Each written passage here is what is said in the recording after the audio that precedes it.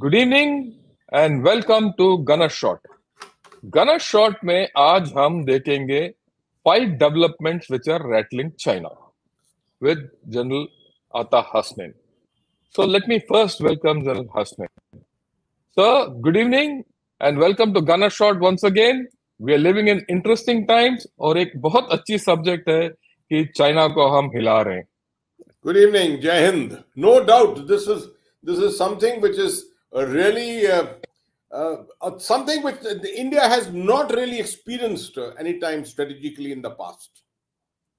Right.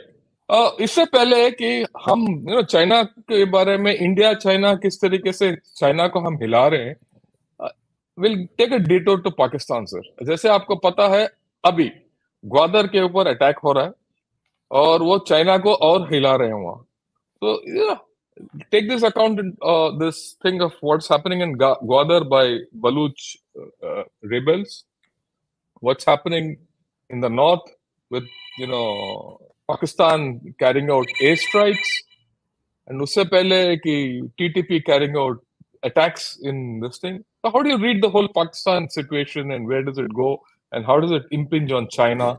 I'd like a macro before we get into our subject proper today. It doesn't need any reminder that Pakistan considers China or its relations with China as something which is higher than the skies and deeper than the oceans, as are all aware of it, right?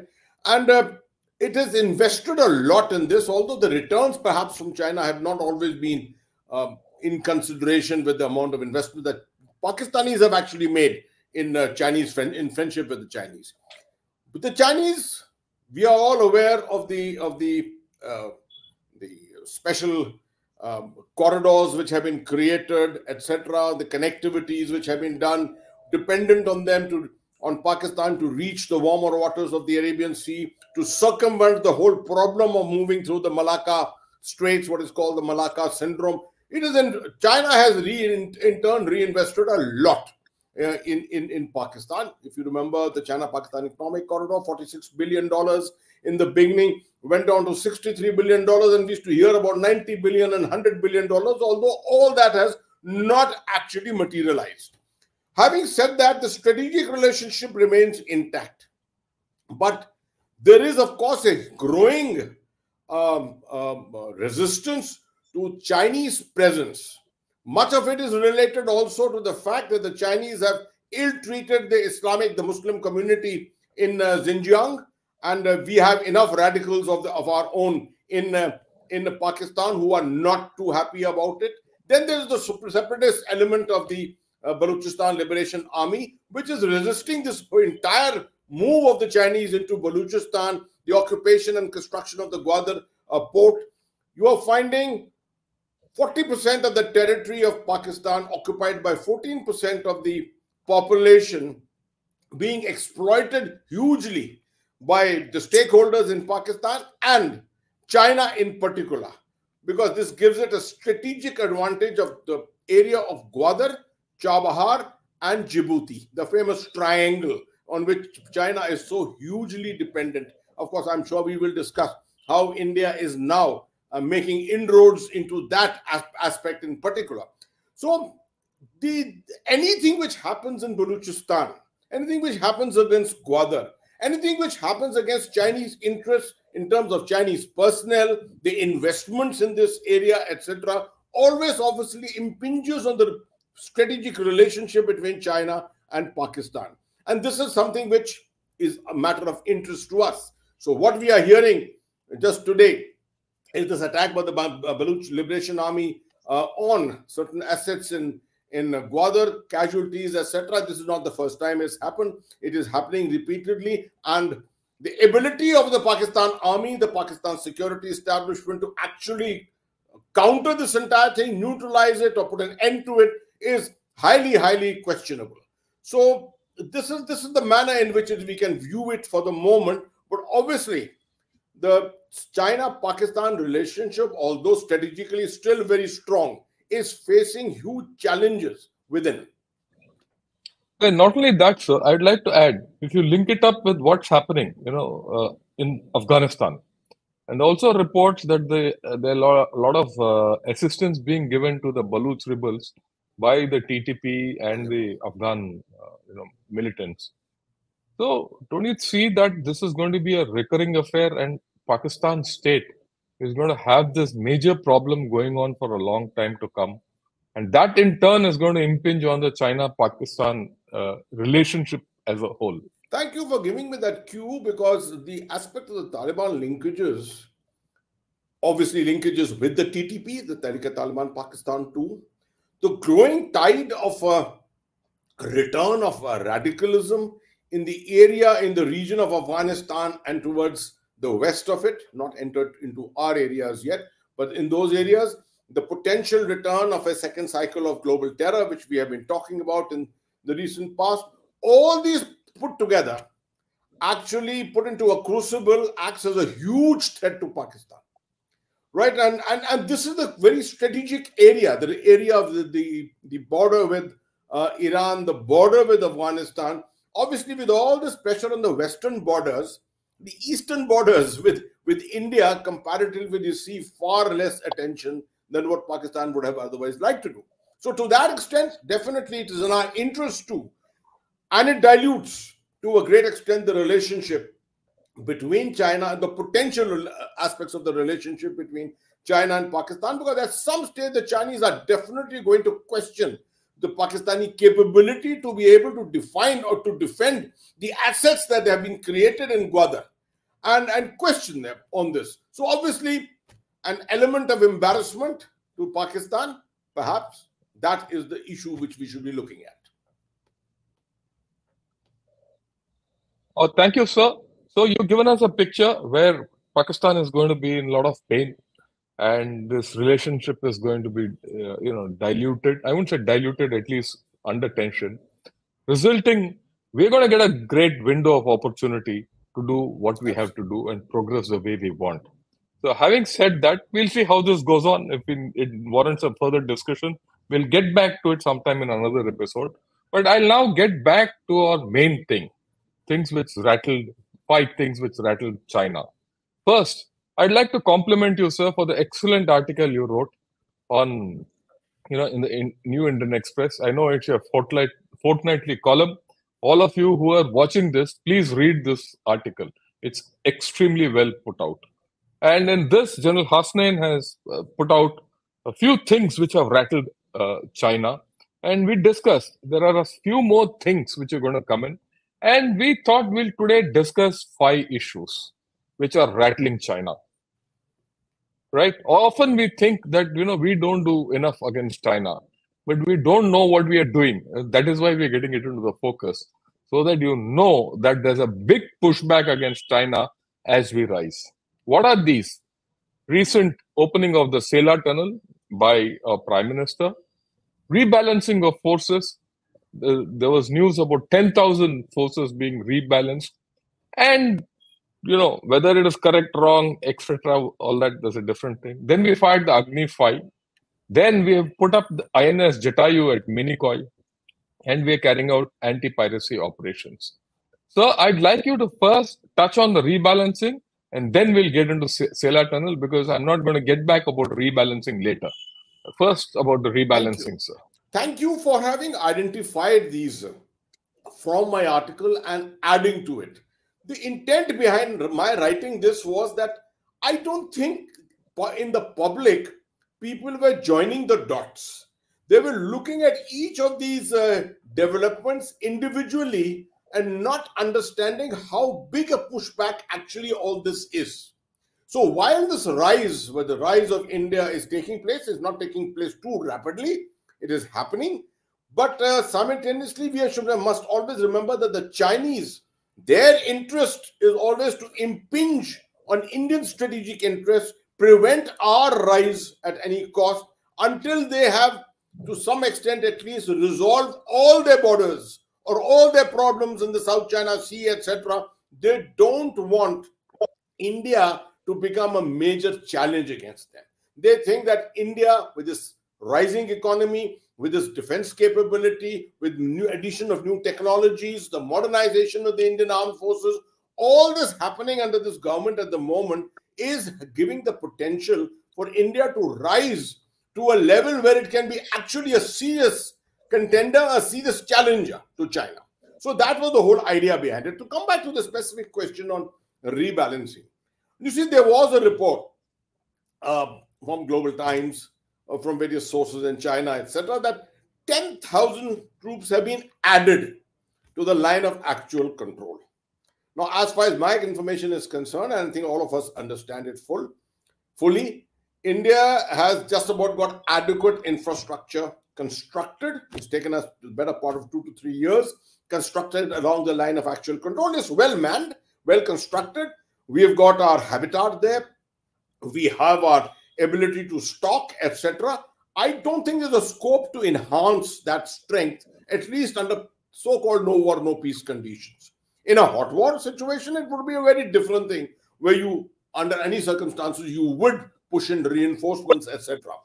10,000 troops have not really been added. What has happened is this is a misreading by China. We need not be explaining to them at all, but this has been a misreading by China because a little bit of reorbiting is taking place. You know, we have, we have had to pull out troops when we reacted in 2020, April, May. We pushed in troops from other portions of Northern Command. Those have gone to their various locations. Headquarters, which were also pulled out on an ad hoc basis at that time, are now being formed in into various areas with their response, uh, with, with their responsibilities being given to them.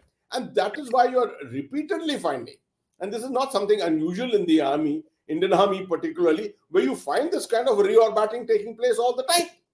Right? I mean, we know it in uh, Northern Command in particular, which is a very active command, that this keeps happening. Troops came in and out keep happening. The Chinese have obviously misread this whole thing or intentionally misread it to try and project that India has intent, which is not very peaceful, not there to find a solution to the LAC issue. Not that the Chinese are showing any propensity of finding a solution to the LAC issue either, but they are saying, see, you are adding troops to the LAC and at the same time carrying out the meetings on the on the border, which is against the whole spirit of peace.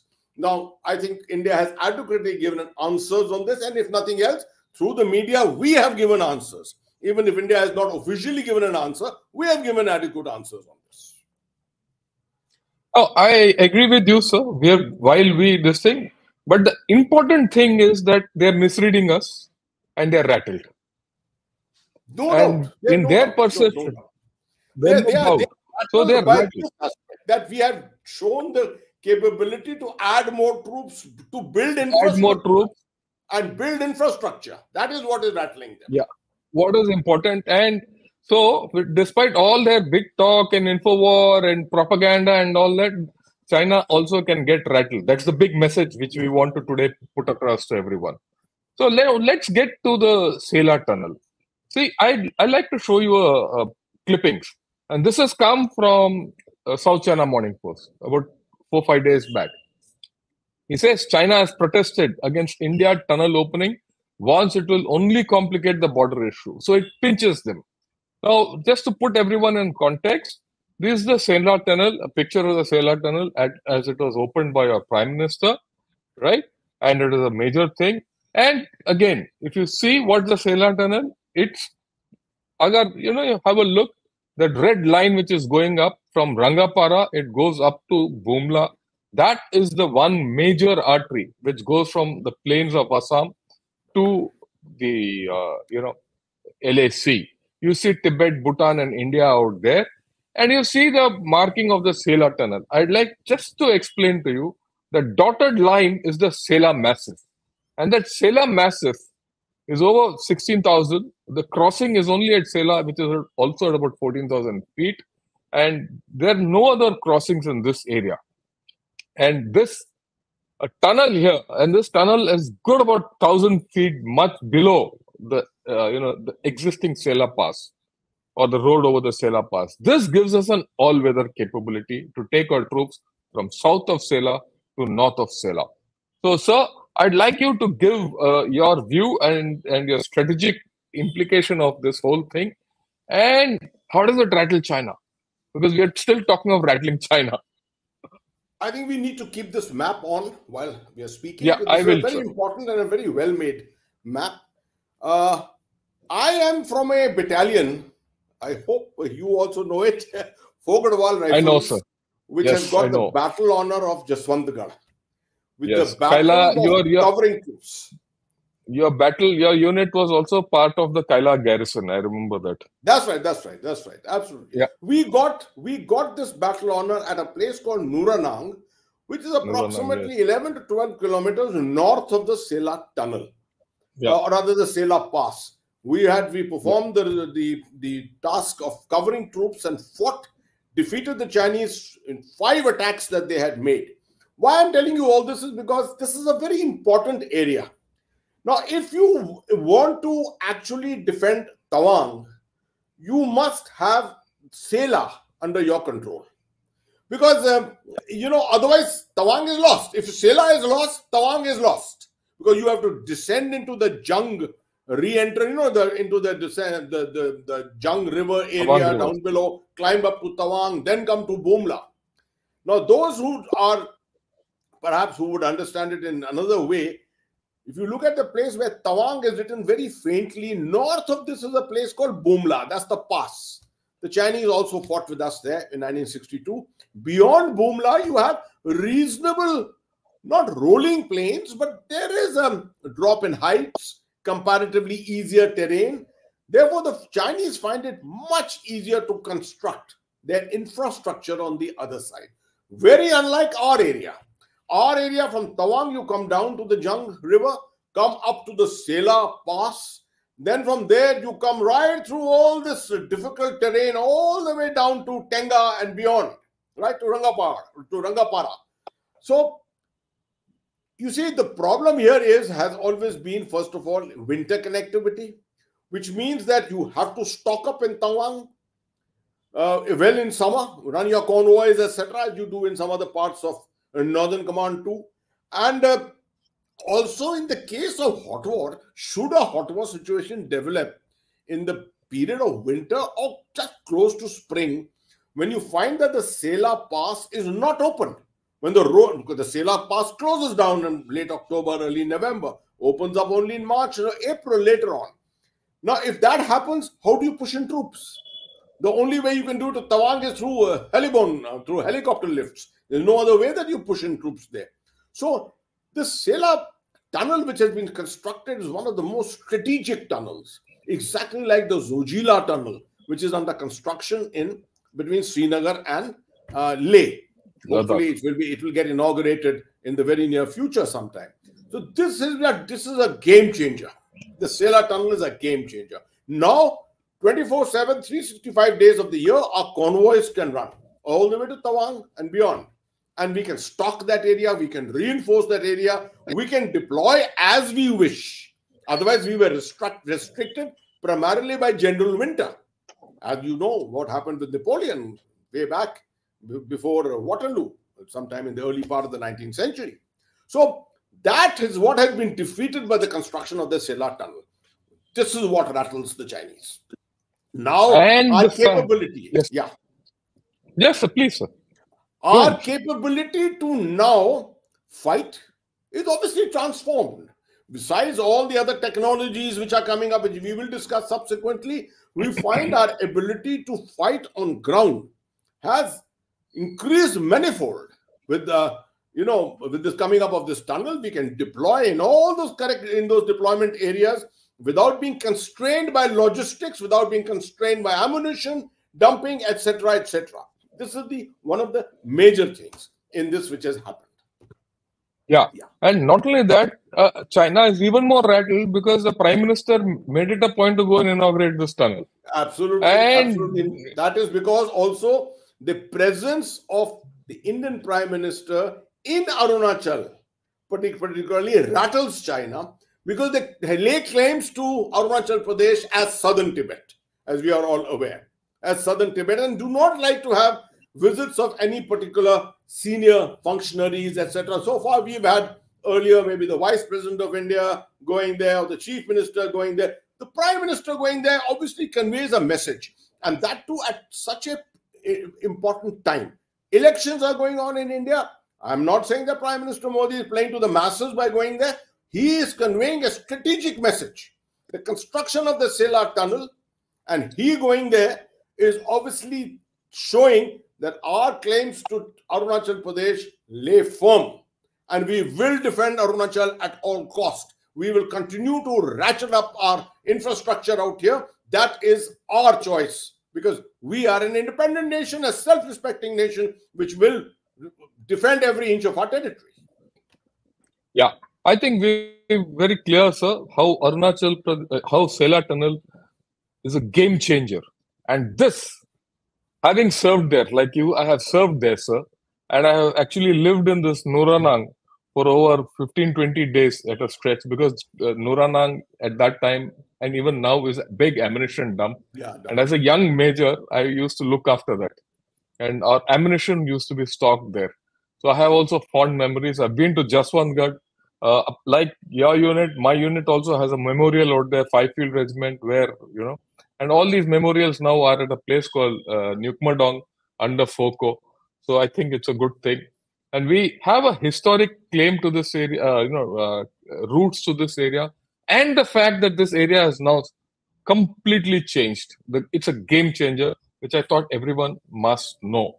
Okay, the next thing we're going to talk is about the base near Maldives. We all have heard that, you know, uh, China is now getting into a military deal with Maldives and we are getting out of Maldives and all that. But we have just opened INS Jatayu on Minicoy. So again, sir, I'll put it up in context in the maps and then I'll uh, put your thing. This is Minicoy and Jatayu. And to explain this, if you see, this is the Indian Ocean. In the center of Indian Ocean, you see a dotted line. That is the Chagos Archipelago. The southern end of the Chagos Archipelago is Diego Garcia. The center is Maldives. The northern end of the archipelago is Minicoy and Lakshadweep. Minicoy is our island. This is ours. Now, any passage through the Chagos Archipelago is not free. It has to go through certain channels. And which are these channels? Let me explain it to you figuratively. If you see on the left, between Lakshadweep and Minicoy is the 9 degree channel. Between Minicoy and Maldives is the 8 degree channel. This is where the bulk of the international uh, shipping goes through. And in Minicoy today, you have a base. And in Lakshadweep also, you have a base. So that is two things. And if you look to the right, the Andaman Nicobar in the end, you see between Little Andaman and Nicobar, you have the 10 degree channel, which is the you know equivalent thing. Now to put this whole thing in a map, you see the 9 degree channel, the red dot is Minicoy, south of that is the 8 degree channel and the 10 degree channel. Now this gives you actually a control of this entire area.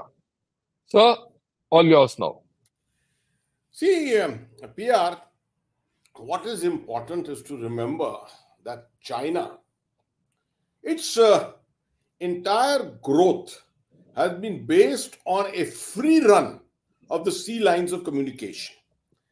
Uh, it's got its energy from West Asia, freely through these sea lines of communication, through the Straits of Malacca, going up to the western seaboard of China. That's where all the all the manufacturing has been done in Shenzhen and places like that, Hong Kong, the, that coastline.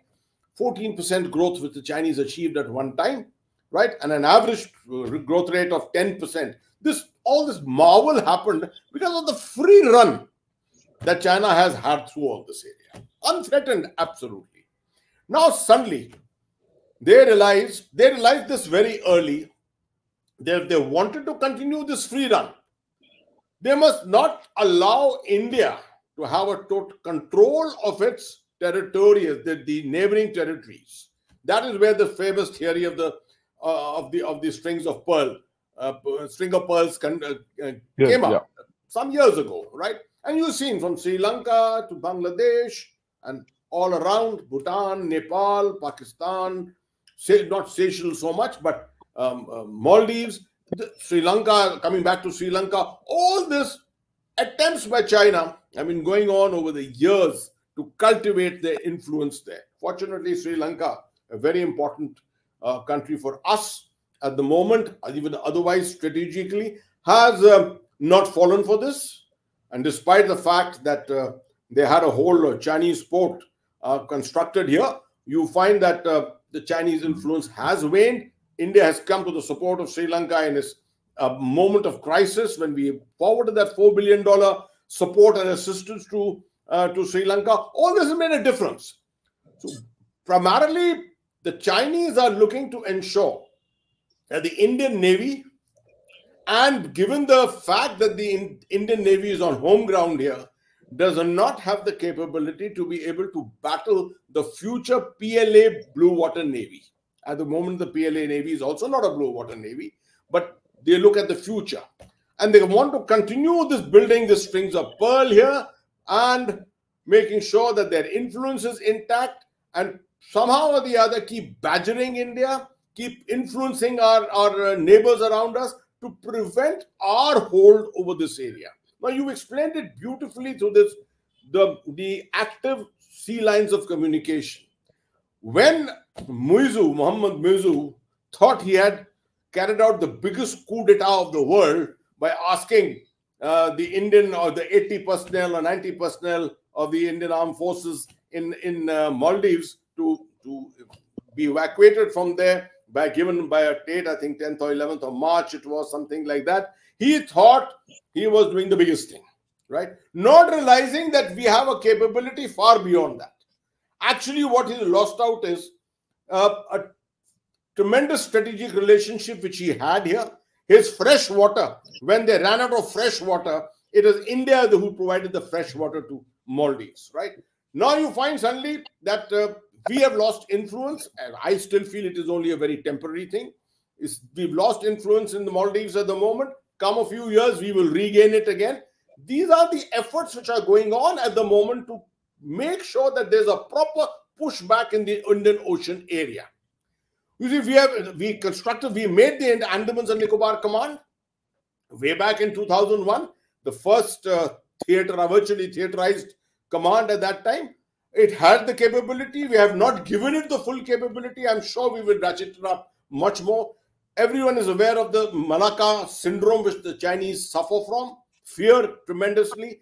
Given an enhanced capability to the Andaman and Nicobar Command, you can block off the entire PLA Navy in the area of the of the Straits of Malacca, right?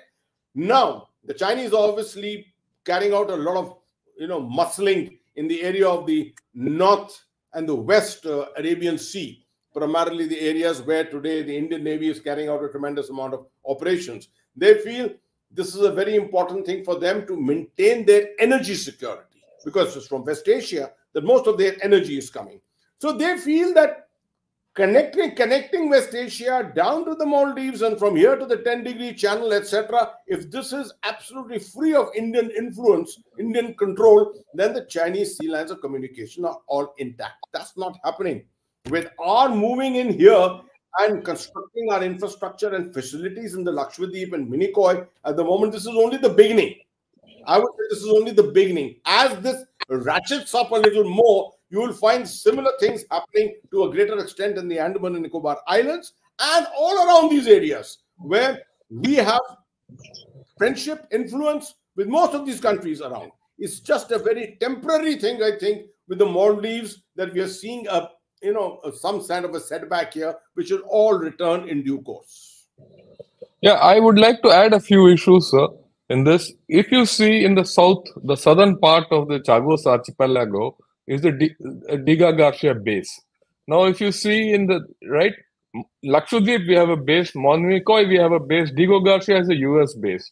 And then, of course, you are on the uh, eastern side of uh, the eastern uh, Indian Ocean, we have the Andaman's uh, command. On the western, near Seychelles, we have the Agalega Island where we have already established naval facilities. Virtually by doing this, we have actually started controlling complete Indian Ocean region. And if the Americans kick in with their help, which is almost, you know, uh, in their interest also, we, we actually can make life hell for China. And I think that is why the reaction comes from China. The rattling That's which we the, speak about, yeah. We rattling we speak about. So if you now connect it with the Sela Tunnel. You connect it with a rebalancing which is going on. You see us, you know, a great pushback. Look at it from a Chinese point of view. He thinks we have developed some capability, offensive capability across the central sector. Sela Tunnel opening up 24 by 7 makes it a no go for him there. On the other hand, he might even perceive offensive from the Indian side. I mean, we have to think like the Chinese. And he's getting bottled up here. He now either 9 degree or 8 degree channel, either side is being controlled by India. The 10 degree channel is controlled by India. You don't have to go and just block Malacca Straits. You can, if you block these, which is well within your territorial waters, then there is a lot of problem which we can get to the Chinese, and that is what rattles them. And add to that the fact that we are there at Agalega also. So, I anything may more you want I to add? add Jan Yes, Shankar, sir. I may add one thing here, thank which is important also. Today's visit of the Prime Minister to Bhutan. Yes, sir. We can't Very important. It's a very important country. The only two countries which have not resolved their borders with China are India and Bhutan, right? And uh, Bhutan has been under tremendous pressure from China to try and make sure that they don't want, don't get influenced by us on the whole issue of Doklam. If you remember in 2017, and Yeah, yes, sir. Bhutan has held on. Bhutan has held on, although we found a propensity once in a while of getting influenced here and there, but they've held on. Now, I think this is a very, very important strategic moment the visit of the Indian Prime Minister to Bhutan and conveying a very important message to everyone. We will, we will retain and look after our interests completely, come what may. Yeah, not only that, sir. In Bhutan is also now shown, like you said, they are also not very keen to, uh, you know, go ahead with China unless they're clear that India allows them. And the kind of trade in terms of electricity, because our hydel projects there actually contribute to 40% of their economy. I mean, this is something which we don't know. And I, having served in that area uh, in the early 80s, and you go there today in the east, northeast, the northeast is power surplus because of the power uh, infrastructure we built in Bhutan. And they also want uh, a trading post and uh, SEZ to come along the southern Bhutan, along Assam, in this area of Samdrup Jongkhar. That's also something which is on the cards. So, taking all this into consideration, I think China has tremendously, you know, has tremendous reasons to worry about how India is going in this entire area. Uh, anything more you want to add, sir? I want to switch to Agni, which is the Uh, next no, point. I, I, think we have discussed a lot on this entire uh, aspect of the maritime zone. But we need to just remember there is a deep connect between the maritime zone and the Himalayan zone.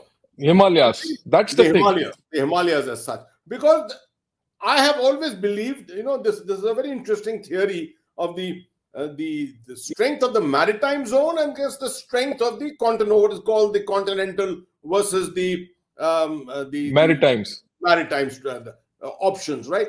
The Chinese would always like to keep us under pressure on the Himalayan belt, on the continental belt as such, to try and make sure that we are forced to put our focus of our defense there, of our security and strategic, you know, focus on the, that area, and not in the maritime zone, which is the area where they fear us the most, right? Most. Now you're finding that India has got a pushback in the on the continental zone, in the continental area too.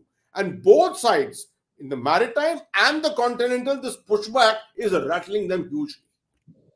hugely and it will i mean i have no doubt about it whatsoever and just to you know to put things on the, the other perspectives the missile programs this is the clipping from the uh, global times the missile i mean you know they look at it as the indian missiles program indicates it's an imaginary enemy harms regional peace and stability and all that but they forget that it was you know after all they've also done a whole lot of tests and India is, you know, got everything. So we need to do what we have to do for ourselves.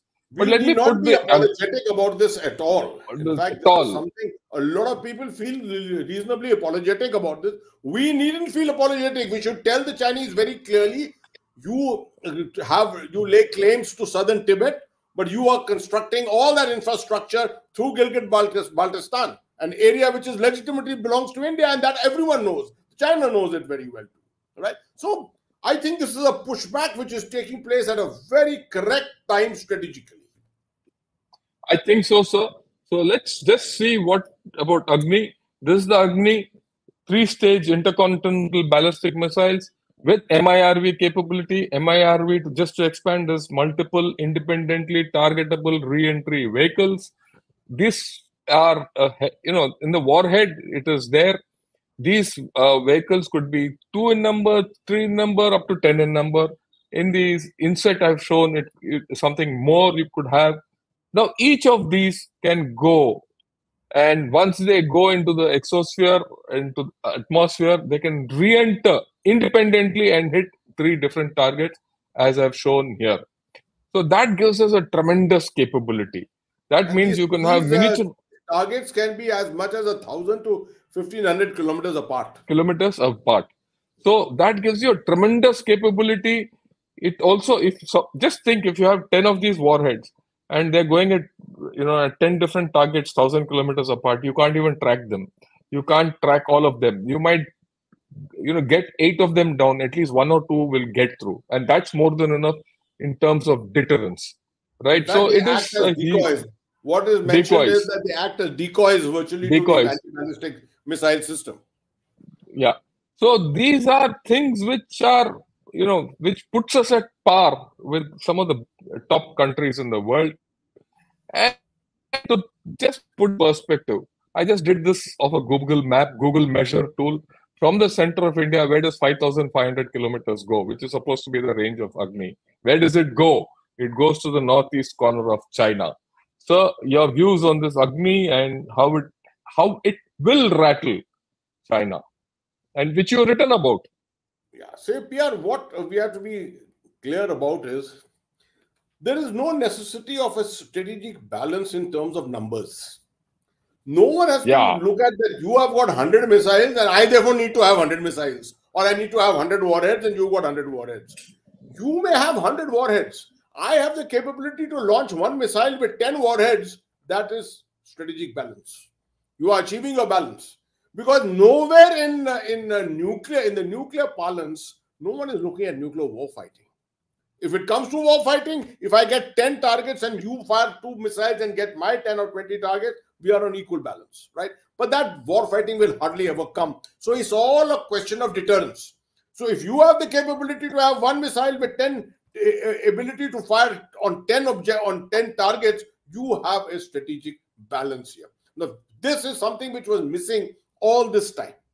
5,000 to 6,000 kilometer range which we have achieved and the fantastic plotting which you, which you have done, I think should convey a very clear message.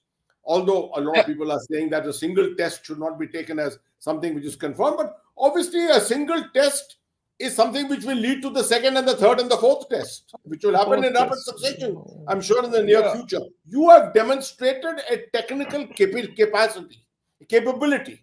That is the important message which is going. Is not just missile technology, it's not just the question of MIRVs. You are demonstrating an overall technology and your capability. This is what should be rattling China. And you know, in this game of deterrence, nuclear, no nuclear war is going to be fought. No nuclear war will be won, right? Whether you fire one nuclear warhead or ten nuclear warheads, it's all the same. What is important is the threat in being, the ability to convey the threat, right? It is not the execution. Execution kisne dekha. But the fact this little arrow anyone all of you can put this you know thing of 5000 kilometers and see where it goes.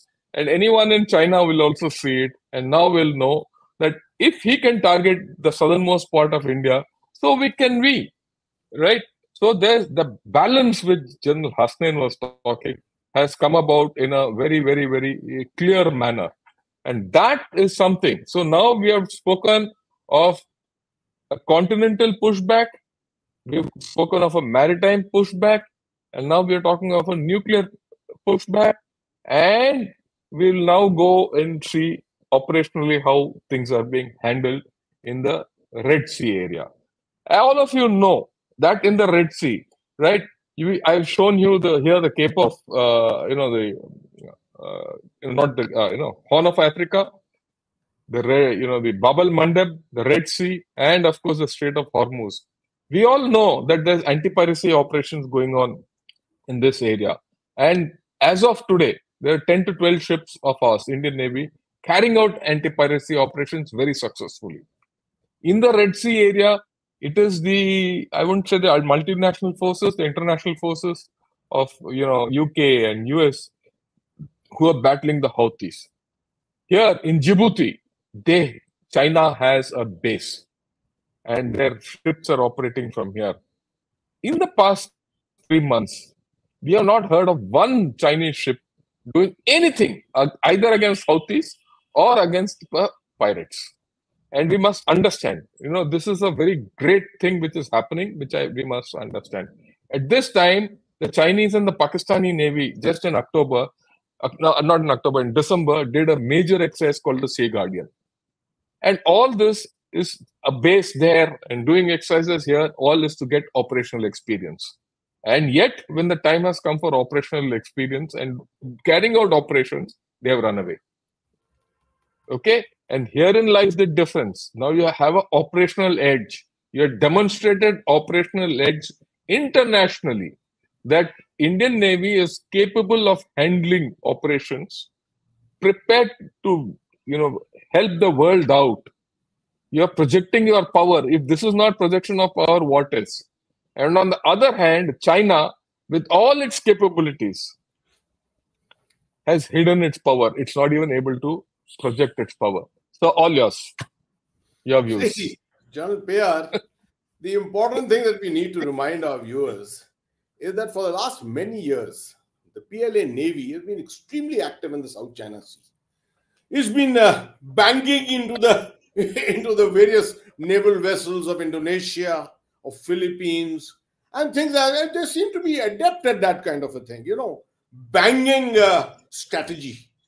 But when it comes to the real bang, when it's required here, when you need to come to Bad the of the world, at that time that bang doesn't seem to be anywhere. I don't want to sound provocative on this unnecessarily, but I do want to remind the people, and I hope a lot of people around the world will see this, that there's only a single navy which is actually holding forth the responsibilities of the international community in this zone here. You have got a maritime coalition here, of which we are not a part. They are here, of, of advanced countries, great powers, but they have not displayed the propensity to be able to achieve what the Indian Navy has achieved. Their Marcos, their uh, naval aviation, their ships themselves, all, I mean, all domains and all dimensions of Indian naval power are, are very much visible there, active there, and highly successful there.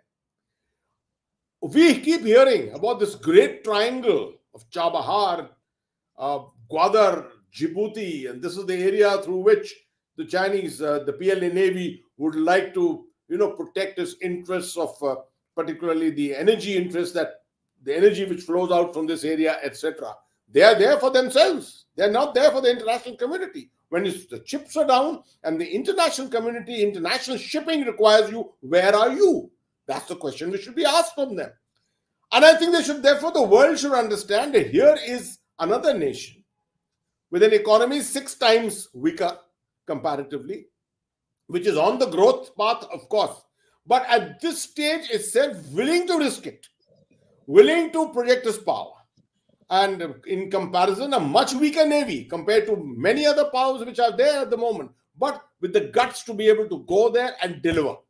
That's what the international community has to understand. And I'm sure those who are looking at this, this is live cyber warfare in a way. It should be affecting the minds of the PLA Navy. It should be affecting the minds of the military leadership in China. Here is a nation on the growth, on the growth path, which is willing to risk if required, for the sake of the international community. Yeah, and we have gone nearly 2,000 kilometers away. Chinese Navy has not been able to cross China Sea. They are still stuck within the first chain of islands. And that's where their superpower is. And it also goes to prove something which is which uh, General Hasnain did touch about. in this game, in military parlance, and when it comes down to operations, the GDP doesn't count. The GDP is a figure. What counts is what you do in battle. And what counts is what Indian Navy is doing in battle and what China, Chinese Navy or the PLA and the Pakistan Navy put together, despite having done an exercise here to do precisely this, is not able to do it. So this is what the message which should be going back to the, uh, them is. So we have now discussed all five of these things. I'd like to first put, uh, you know, get back to the first map. And I would like you to explain the implications, the strategic implications of these five rattles which you have done against China. Over to the map, sir. Yeah.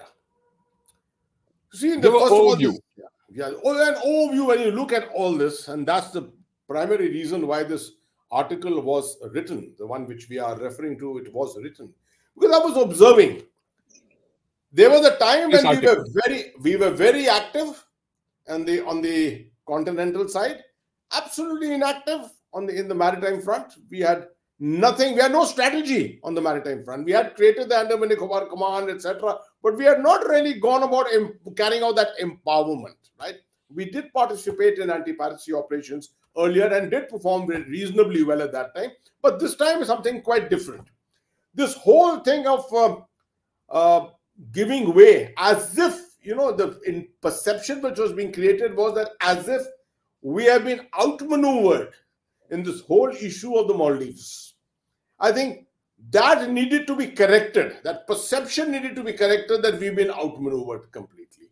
Then the aspect that we are technologically deficient and technologically far behind China, particularly in the nuclear field, in the missile field, no doubt, China with the second artillery, etc., has always scored a, a, a point over us internationally, but here it was necessary to show that in this domain, the continental, the maritime, the technology domain, it was, and now particularly in the infrastructure domain.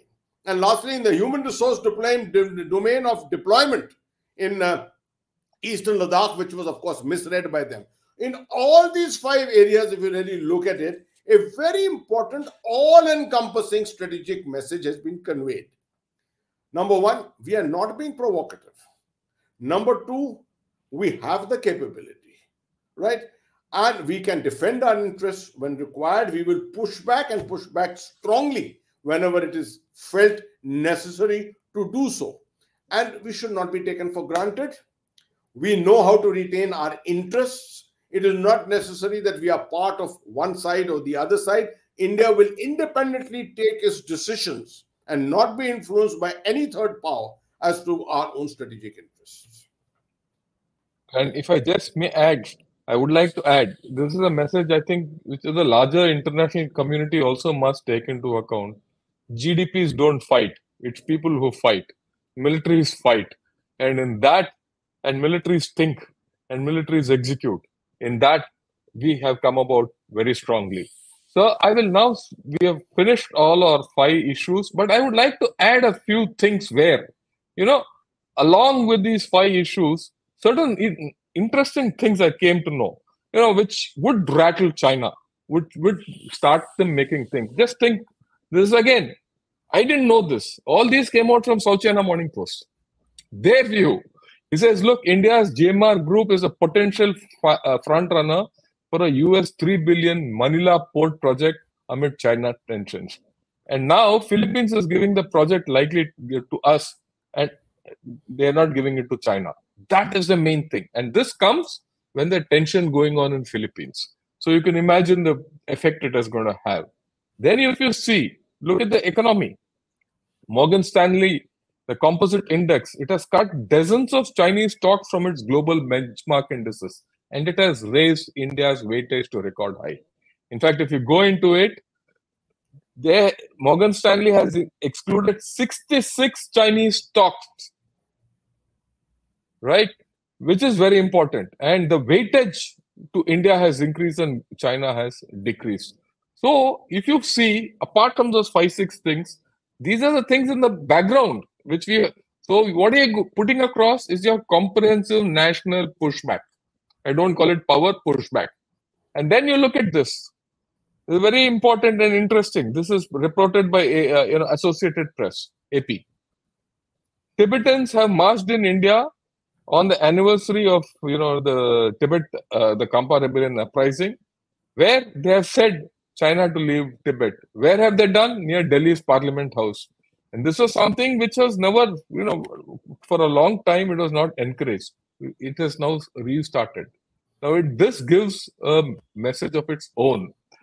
Overall, sir, before we take a few questions, what you have put across, some additional issues, and now these things which are coming from their side, how do you think China starts viewing India now? You see, I take the context of April, May 2020. And I, and I insisted at that time, I kept on writing and kept on remaining sort of uh, rooted to that uh, rationale which I was following. Why did China do what it did in April, May 2020? Uh, despite the fact that uh, our Prime Minister had gone out of his way to build the relationship, uh, look at economics as the major factor, and he had everything going with the Chinese president, etc. And we were surprised out of the blue. I don't pay too much of attention to COVID and things like that. I just look at the aspect that what was rattling China at that time is actually becoming a reality today. What was reality? What was the, what was rattling China at that time was the propensity which India was displaying of rising beyond just being a middle power, or even we were still not really a full middle power, but at least going beyond a middle power. Right? They knew we had the leadership the current prime minister has displayed that kind of leadership. We had the econo economy going at that particular time. We seem to be looking at technologies. We seem to be looking at modernization. It would be a matter of time before China, before India became an alternative pole to China within Asia. If not that, it should be around the world even altogether. That is what was rattling them at that time. And they felt that they could needle us. They could convey a message to us to you know, cow down and not have that, that intent of trying to match China in terms of its of comprehensive national power and everything else, right? By doing this, what China has achieved is actually the opposite of what it wanted to. Opposite, yeah. That's exactly the point. exactly the, point. the opposite of what we did. It has it has actually given India the strategic muscle, capability, ability to push back, look for the right partnerships around the world, right? And believe in ourselves. I think a very important aspect is that belief, which we, we, we seem to have lost after 62, which seem to have returned now. After a long, long time, it seems to have returned now, right? I'm not being provocative. I'm the last one who would want to see anything uh, in, in terms of a deterioration in a relationship between India, India and China. I think both have their importance in the world both can survive this entire situation together and be actually be partners. But by trying to keep india in what i mentioned in my article also by trying to keep india in the gray zone of whether china is a friend an adversary right a collaborator or a partner china is not achieving anything. At the end of the day what is going to happen is that india will treat it more as an adversary and the pushback is not going to give china any advantage over us. And if I may just add, sir, what China did in 2020, and I've discussed this across a lot of people, they've turned, it has turned the Indian youth against it. It's the next generation. You and I might have the uh, vision and the maturity to come to some understanding with China. But the next generation of our youth, then this nation's youth, might not have that you know uh, kind of a feeling to even get on to some kind of some kind of a deal with China if, if it comes in the future. So I think they, China has a lot to ponder, and rightly so. The way they are reacting uh, indicates that they are a bit more than rattled. Uh, so, uh, can we take a few questions yeah, with your permission? Yes. Yeah, yeah. Uh, the first question, sir, is the upgrade of an area headquarter to a corps uh, command in the central sector is a step in the right direction to securing the forward oblique high altitude positions. Your views, sir? Uh, Akash sir, Uh, I'm glad you you you've touched upon a point which we did not really look at from that angle. But being military people, perhaps we didn't uh, sort of accord so much of importance to this. This particular area headquarters, which is the Uttar Bharat area located at Bareilly, um, is virtually like a corps-size formation, but it doesn't have maybe supporting forces along with it and things like supporting arms and things like that. But a lot of reconfiguration and a reorbiting has taken place in the central sector, which is the Himachal and the Uttarakhand sector. Now there are sufficient troops there. I'm not going to outline, I'm not going to quantify what troops are there. There are sufficient troops there today. Earlier, they were not, right? And to have an effective command and control, yes, a corps headquarters with its uh, necessary support elements in the near future, which I'm sure will come about, will actually add tremendous weight to our overall defensive capability here. We may not have a, too much of an offensive capability. We do have some offensive capability, not too much, but uh, definitely with the reconfiguration, a corps headquarters is not a command, it's a corps headquarters there under headquarters central command, which is at Lucknow. And in the future, you never know the theater, you know, the northern theater or what is called the eastern theater could very well be located at Lucknow. This will form a very important part of that headquarter itself. At that time. Thank you, sir. Uh, the next question, sir, uh, it's to you. In terms of wartime geographical advantage in a China-India future conflict, the nature favors which side for the soldier, whether in the western sector, central, and the eastern sector? I mean, we can see for one thing for sure. One thing for sure is that the Himalayan zone overall has a terrain advantage on the other side. You know, you know, the flatter portions there. Of course, you have to rise up and climb the uh, Tibetan plateau from the Chinese side. And once you are on the Tibetan plateau, you have a roll, open rolling plains all along, use of armor, logistics is that much easier, constructing airstrips, landing strips, constructing airfields, all that becomes that much simpler in terms of infrastructure. For us, go to Ladakh and see yourself uh, go to Tawang and, and uh, the area of, uh, of uh, uh, or anywhere rest of Arunachal Pradesh, a huge challenge. It's a huge challenge for us, no doubt. But uh, notwithstanding that, the Indian Army has gone overboard in trying to overcome all those terrain challenges. Right? The, I would say the manner in which the strategic airlift took place, for example, in uh, the month of April, May 2020, when uh, 14 Corps was reinforced to a strength of about 60,000 troops deployed there, 50 to 60,000 troops deployed there, all took place in a period of about two months, right? Again, with, with the terrain completely laid out against you, right? Fortunately, today, we are meeting those challenges. New airfields are coming up, many more roads are coming up, more tunnels are coming up. And in terms of the LAC itself, habitat, infrastructure for the habitat, for ammunition dumps, for helipads, etc. All this is being constructed today. And although it's been taking a tremendous toll of our of our economy, we were spending tremendous amount of money, capital expenditure on all this, but then ultimately for the motherland, I suppose, the defense of the motherland, all this is absolutely necessary. Yeah, I'd like just to add one issue because a lot of issues about this terrain the better terrain in China, you know, flatter terrain in Tibet, and ours is a very steep approach to the Himalayan crest line keeps coming up. And I've written about this also, sir. Uh, if you just think any offensive from China to our side starts concentrated, but once you cross the Himalayan crest line, it gets dissipated. You don't reach uh, convergence. Whereas from the Indian side, this is something for the future for our military commanders to think. When we go from here, you start dissipated.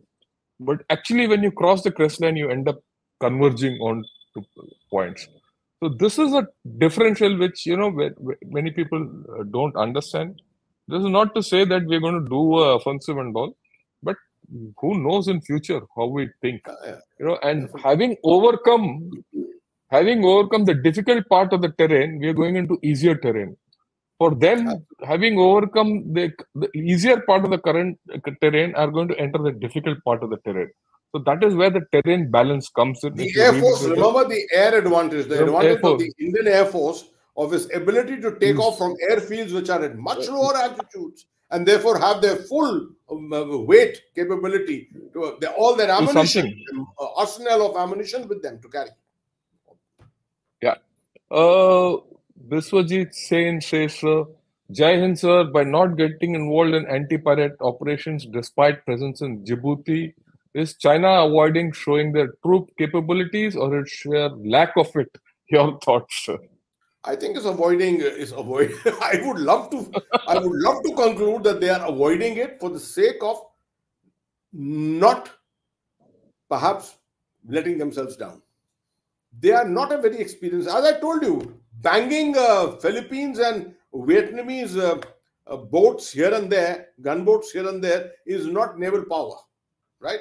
But yes, and I would still, I would also say that not fighting against pirates is not sea power, but these pirates have shown their propensity to do what, what they can over the last 15 years they've shown this.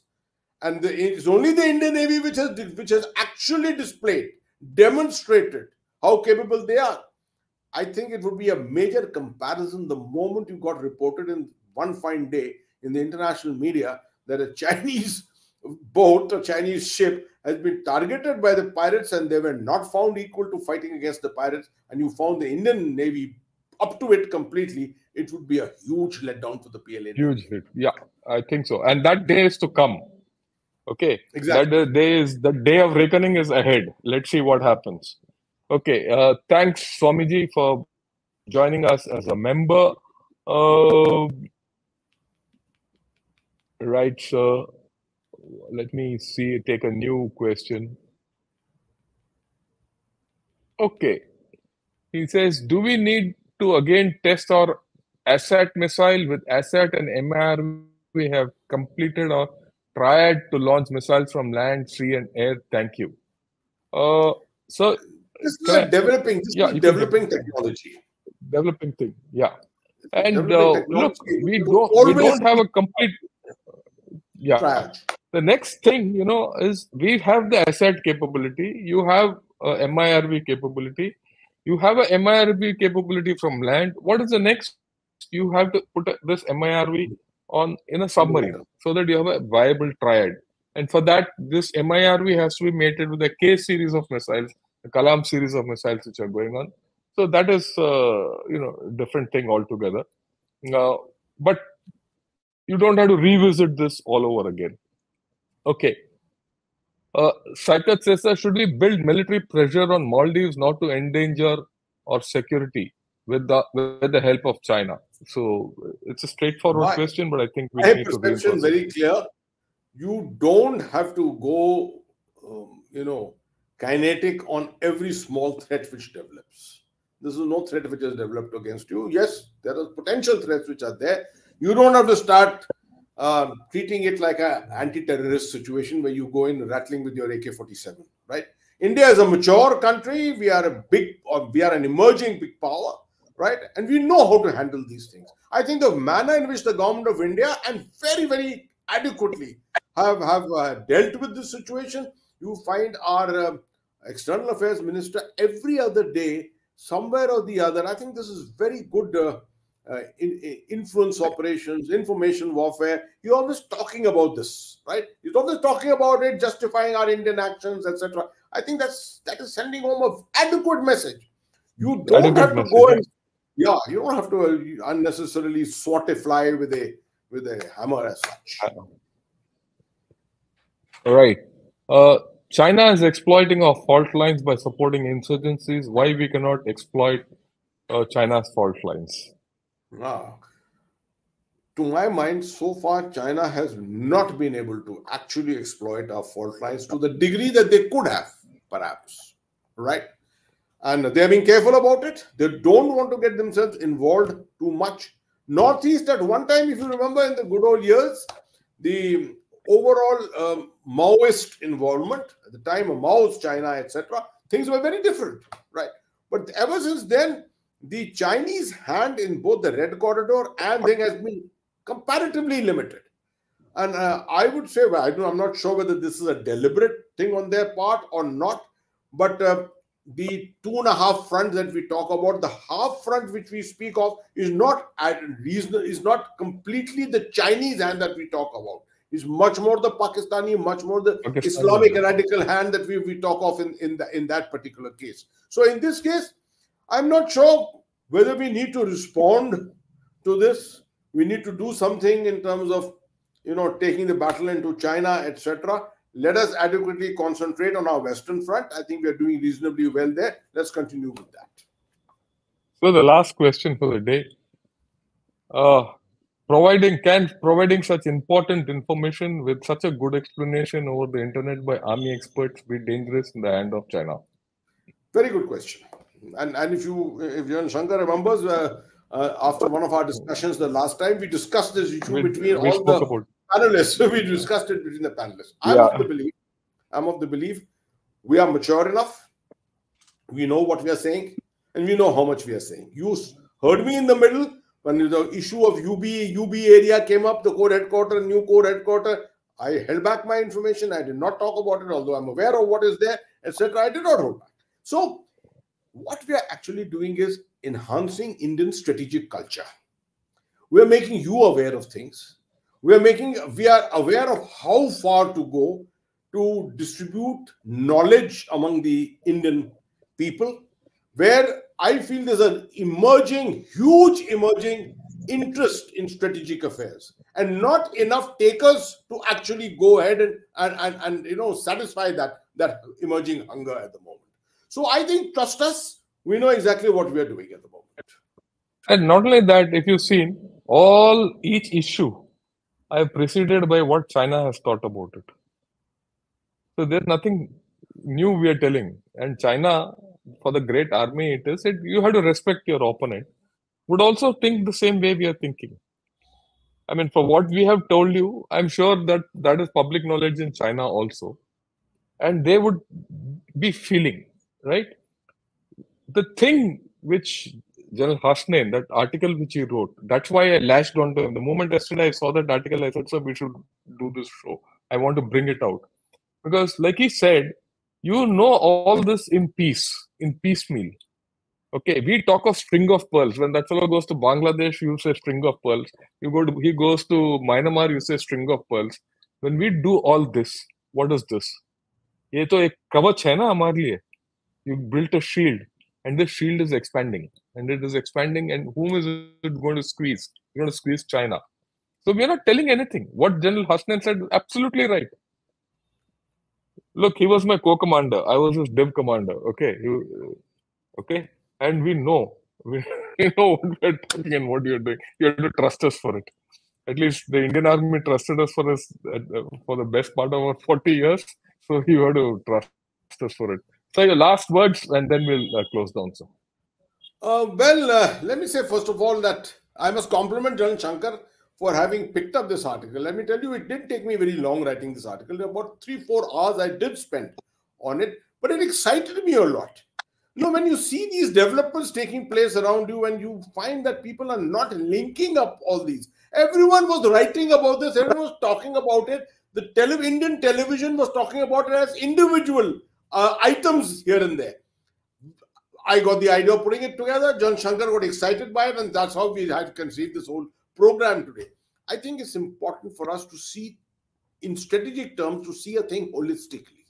There is no point just looking at a segment of the border and start reacting to that. No, let's look at the whole thing, the entire picture, covering from Djibouti and going up to uh, up to the uh, Straits of Malacca, right up to the north and of Ladakh. We covered the whole thing, entire thing and and that's where that's the importance of looking at strategic affairs. Don't look at anything piecemeal looking at, look at them holistically.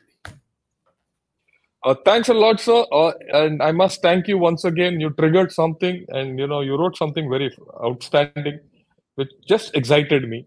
And uh, i just put in something. I thought it was a tremendous show and we i thought we also got some fantastic questions and those of you who Absolutely. have not been able to answer, uh, you know, whose questions we have not been able to answer, put these questions down in the uh, question, you know, comments box in the main thing. And in one of those updates, I will answer all those questions separately. I'll take all your questions which are interesting and answer it question. Yeah, interesting. The last thing before I close, I want to say, you know, in everything we need balance. And we need balance is very important in life. And what today we've achieved is the balance against China. And it's very significant that we are achieving, we're showing this balance against China on a day. Today is the equinox. What is equinox? Where the day and the night are the same time. And the sun rises in the east and sets in the west, east, uh, west. Actually, any other day of this, it is off. You know, we are transiting from the winter time to the summertime. This is called the summer solstice. And it's a good thing today, sir, on a day where everything nature is in balance we are talking of also the strategic balance which we are achieving. Right? Uh, i think with this we'll close down sir. Uh, thanks a lot to everyone. Thank you sir. Jai hind to you and have a very good evening sir. Jai hind to everyone. Thank you very much for this wonderful show. Thank you sir